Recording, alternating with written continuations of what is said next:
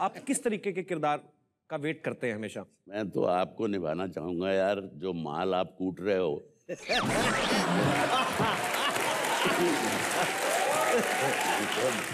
हमको हमको साला चालीस साल हो गए। दी की शक्ल नहीं देखी। और तुम तीन तीन लिए घूम रहे हो यार। ये अच्छा है सर मेरे पूरे पोतड़े निकाल के बाद में तालियाँ बजा दी